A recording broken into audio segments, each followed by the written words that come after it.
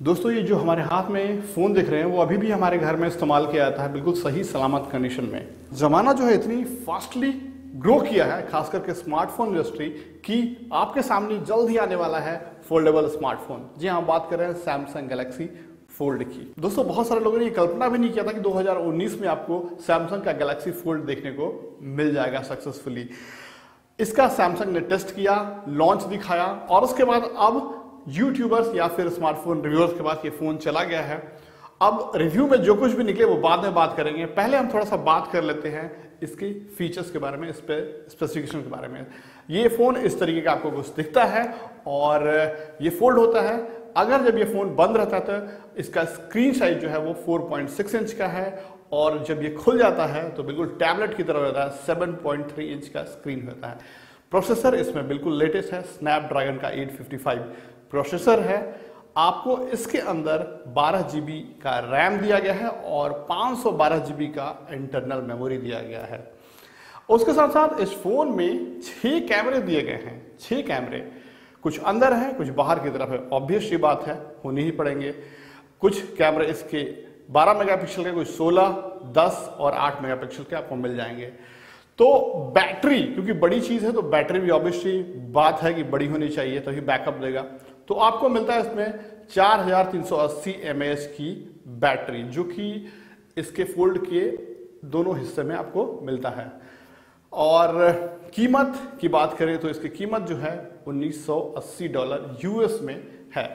India में hopefully इसकी कीमत जो है एक लाख चालीस हज़ार के आसपास होने वाली है। लेकिन ये क्या? सब कुछ तो ठीक था जब लॉन्च इवेंट में वहाँ पे सैमसंग वालों ने उसे लॉन्च करके दिखा, सब कुछ ठीक लगा। लेकिन जब इन्होंने रिव्यू सैंपल्स जो है यूट्यूबर्स को दिए एम के बी एच टी, बहुत सारे लोगों को दिया गया।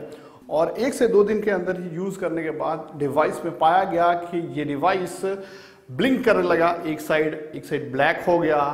तो बड़ा अजीब की बात है। साथ ही साथ ये सभी सेट्स में पाया गया कि जब फोल्ड करते हैं आप इसे तो क्रीज पड़ जाती है बीच में, जो कि बड़ा ऑड लगता है। इतने महँगे फ़ोन खरीदने के बाद क्रीज पड़ जाए उस तरीके से तो आप कैसे, थोड़ा अजीब नहीं लगेगा?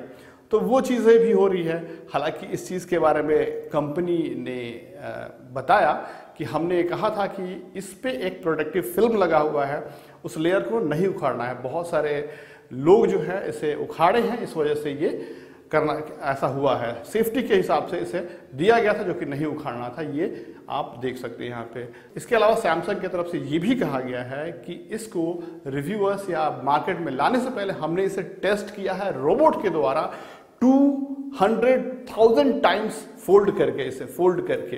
कुछ भी नहीं हुआ है इसे, कुछ भी नहीं हुआ है। तो डेफिनेटली ये मार्केट में जब लोगों के हाथ में जाएगा तो अच्छा परफॉर्म करेगा। लेकिन दोस्तों मैं तो इस फ़ील्ड में बिल्कुल बच्चा हूँ लेकिन जो बड़े बड़े टेक रिव्यूअर्स हैं उनका ये कहना है कि क्योंकि अभी ये फोल्डेबल फ़ोन का फ़र्स्ट जनरेशन है ये बीटा टेस्टिंग में दिया गया है इसलिए इसमें खामियाँ होनी कुछ ना कुछ बिल्कुल ज़रूरी है। मशीनी और रोबोटिक जगह पे चेक करना और फ़िज़िकल हैंड में चेक करना आ, अलग बातें होती ये फ़ोन ना तो डस्ट प्रूफ है ना तो वाटर प्रूफ है और बहुत सारी चीज़ें जो है जो कि एक बहुत छुई मुई की तरह फूल का है। तो इसे बहुत ध्यान से इस्तेमाल करना पड़ता है, बहुत संभाल कर इस्तेमाल करना पड़ता है, इतना महँगा फ़ोन होने के बावजूद भी। तो उन लोगों का कहना है कि आप थोड़ा वेट कीजिए, थोड़ा इसमें और इम्प्रूवमेंट होने दीजिए, तब जाके आप इसे परचेस कीजिए, क्योंकि कीमत बहुत ज़्यादा है। आप आमतौर पे इतने महँगे फ़ोन खरीदेंगे, हम लोग खरीद ही नहीं पाएँगे। अगर जो खरीदेंगे, वो कम से कम एटलीस्ट इसे छः महीने, एक साल, दो साल तो यूज़ कर सकें। सो गाइज़ फाइनली मेरा भी ओपिनियन यही है कि अगर आप इस फ़ोन को परचेज करने के लिए बहुत ज़्यादा एक्साइटेड हैं, बहुत ज़्यादा खुश हैं तो थोड़ा सा पेशेंस रखिए, क्योंकि बड़े बड़े एक्सपीरियंस यूट्यूबर्स टेक रिव्यूअर्स का कहना है कि थोड़ा इससे वेट कीजिए, थोड़ा इसमें और इम्प्रोवाइज बन दीजिए तब आप परचेज कीजिएगा।